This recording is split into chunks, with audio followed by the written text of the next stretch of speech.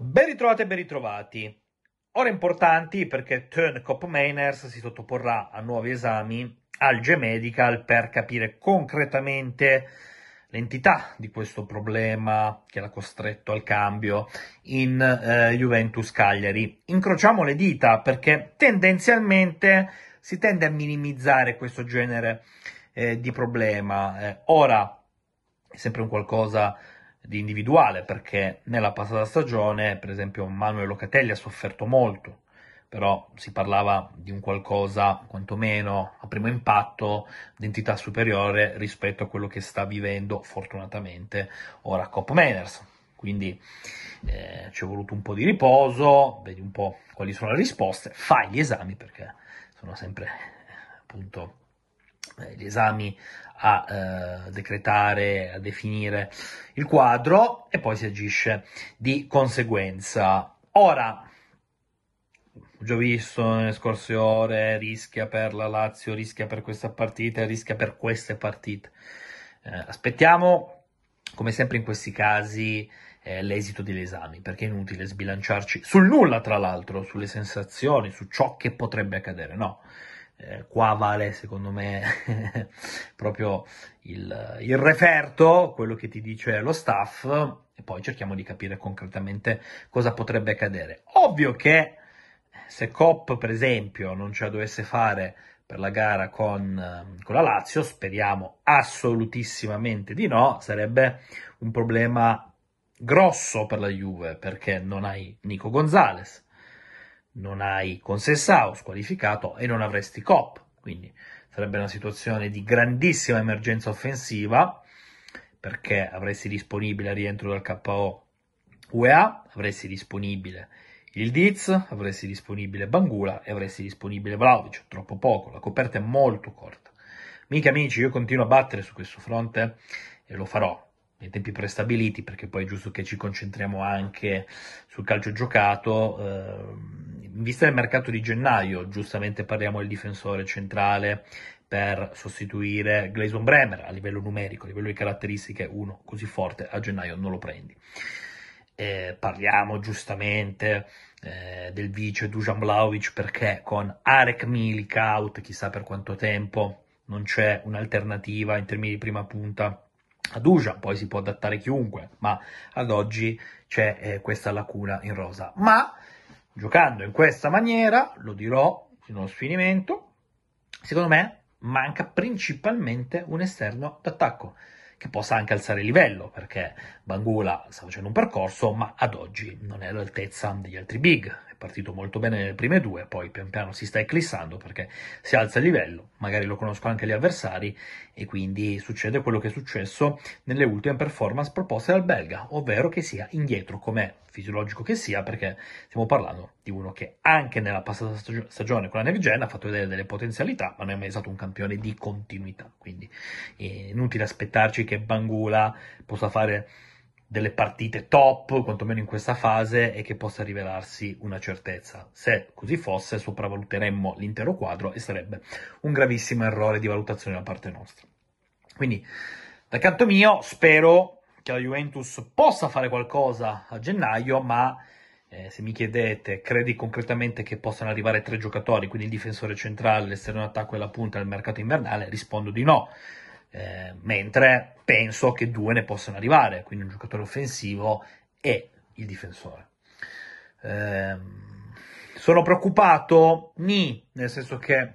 sono ancora incazzato per i punti che abbiamo buttato con il Cagliari, che è diverso, perché poi quando vivi una sosta così ti becchi tutte le critiche ed è normale che se te la vai a cercare alla fine accada quello che sta accadendo, cioè processi H24, ma non voglio fare del maniavantismo, continuo a dire che il pareggio con il Cagliari non c'entra nulla rispetto a quegli altri tre maturati prima, eh, perché con la Roma non abbiamo mai tirato in porta, con il Napoli un buon secondo tempo a livello di gioco, ma abbastanza sterile con l'Empoli un po' disordinati e poco produttivi in fase offensiva, con il Cagliari avremmo meritato ampiamente di vincere e dobbiamo fare mea culpa, mea culpa, mea culpa perché eh, se non la chiudi nei tempi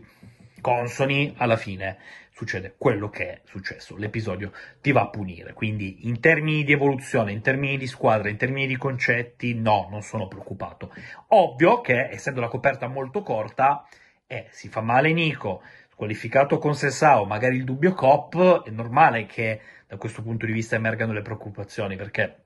eh, hai poche soluzioni e comunque affronti tutte squadre strutturate. Il trittico Lazio, Stoccarda, Inter